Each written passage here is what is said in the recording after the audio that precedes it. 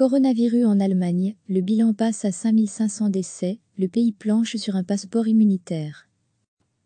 Le coronavirus a fait 179 morts au cours des dernières 24 heures en Allemagne pour un total de 5500 décès depuis le début de l'épidémie, selon un décompte actualisé ce samedi matin par l'Institut Robert Koch, RKI.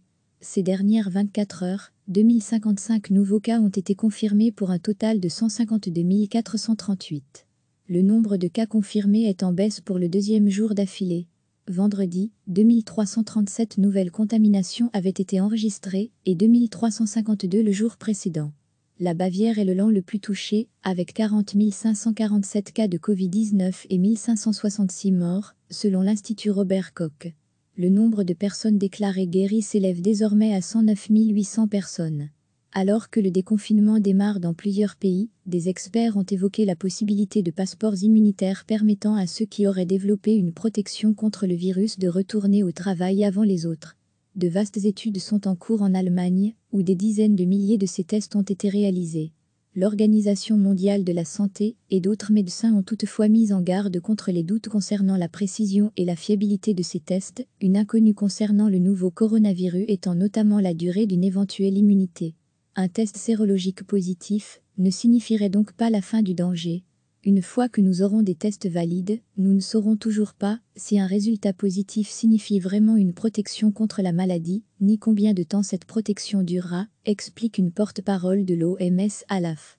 Pour Mathias Hort, membre du directoire de la Fédération allemande des médecins biologistes, BDL, un autre grand problème est la qualité des résultats. De faux négatifs sont par exemple possibles, il existe aussi des coronavirus assez banals et qui ne causent pas de maladies graves et qui peuvent biaiser le résultat, explique-t-il. En tout état de cause, des tests de sérologie rapide promettant un résultat en 15 minutes, avec quelques gouttes de sang prélevées chez soi sur le doigt sont une absurdité, tranchorte. De meilleurs tests seront mis au point dans les prochaines semaines, mais nous n'y sommes pas encore, a-t-il insisté. Par ailleurs, si de vastes études, comme celles en Allemagne peuvent permettre de déterminer la proportion de la population ayant été infectée, les limites des tests disponibles actuellement rendent impossible de déterminer avec certitude la proportion de personnes vraiment immunisées. Pour autant, les études, comme celles lancées le week-end dernier à Munich sur 3000 foyers choisis au hasard, sont surveillées avec grand intérêt degré degré degré retrouvé tout notre dossier sur le coronavirus séparément à Gangelt, dans la région de Hinsberg, où s'était développé le premier grand foyer de Covid-19 en Allemagne, des chercheurs ont déterminé que 14% des habitants avaient été infectés. Au-delà des études, des groupes pharmaceutiques allemands ont également lancé leurs offres de tests sérologiques. Quelques 70 000 de ces tests ont déjà été réalisés dans 54 laboratoires allemands, selon la Fédération des laboratoires agrégés ALM pour le docteur Ulrich Lemelipke, qui propose des tests de statut immunitaire depuis mi-mars à Renikendorf, ces tests ont un sens, car c'est comme ça que nous allons savoir qui est immunisé. Selon elle, c'est très important de savoir ça pour ceux qui ont des parents ou grands-parents qu'ils aiment. Recevez chaque matin l'essentiel de l'actualité. Le coronavirus a fait 179 morts au cours des dernières 24 heures en Allemagne pour un total de 5500 décès depuis le début de l'épidémie, selon un décompte actualisé ce samedi matin par l'Institut Robert Koch, RKI. Ces dernières 24 heures, 2055 nouveaux cas ont été confirmés pour un total de 152 438. Le nombre de cas confirmés est en baisse pour le deuxième jour d'affilée. Vendredi, 2337 nouvelles contaminations avaient été enregistrées et 2352 le jour précédent. La Bavière est le land le plus touché, avec 40 547 cas de Covid-19 et 1566 morts, selon l'Institut Robert Koch. Le nombre de personnes déclarées guéries s'élève désormais à 109 800 personnes. Alors que le déconfinement démarre dans plusieurs pays, des experts ont évoqué la possibilité de passeports immunitaires permettant à ceux qui auraient développé une protection contre le virus de retourner au travail avant les autres. De vastes études sont en cours en Allemagne, où des dizaines de milliers de ces tests ont été réalisés. L'Organisation mondiale de la santé et d'autres médecins ont toutefois mis en garde contre les doutes concernant la précision et la fiabilité de ces tests, une inconnue concernant le nouveau coronavirus étant notamment la durée d'une éventuelle immunité. Un test sérologique positif ne signifierait donc pas la fin du danger.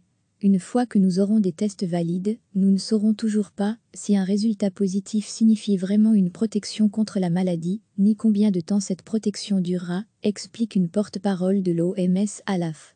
Pour Mathias Hort, membre du directoire de la Fédération allemande des médecins biologistes, BDL, un autre grand problème est la qualité des résultats. De faux négatifs sont par exemple possibles, il existe aussi des coronavirus assez banals et qui ne causent pas de maladies graves et qui peuvent biaiser le résultat, explique-t-il. En tout état de cause, des tests de sérologie rapide promettant un résultat en 15 minutes, avec quelques gouttes de sang prélevées chez soi sur le doigt sont une absurdité, tranchorte. De meilleurs tests seront mis au point dans les prochaines semaines, mais nous n'y sommes pas encore, a-t-il insisté. Par ailleurs, si de vastes études, comme celles en Allemagne peuvent permettre de déterminer la proportion de la population ayant été infectée, les limites des tests disponibles actuellement rendent impossible de déterminer avec certitude la proportion de personnes vraiment immunisées. Pour autant, les études, comme celles lancées le week-end dernier à Munich sur 3000 foyers choisis au hasard, sont surveillées avec grand intérêt degré degré degré retrouvé tout notre dossier sur le coronavirus séparément à Gangelt, dans la région de Hinsberg, où s'était développé le premier grand foyer de Covid-19 en Allemagne, des chercheurs ont déterminé que 14% des habitants avaient été infectés. Au-delà des études, des groupes pharmaceutiques allemands ont également lancé leurs offres de tests sérologiques. Quelques 70 000 de ces tests ont déjà été réalisés dans 54 laboratoires allemands, selon la Fédération des laboratoires agrégés ALM pour le docteur Ulrich Lemelipke, qui propose des tests de statut immunitaire depuis mi-mars à Renikendorf, ces tests ont un sens, car c'est comme ça que nous allons savoir qui est immunisé. Selon elle, c'est très important de savoir ça pour ceux qui ont des parents ou grands-parents qu'ils aiment.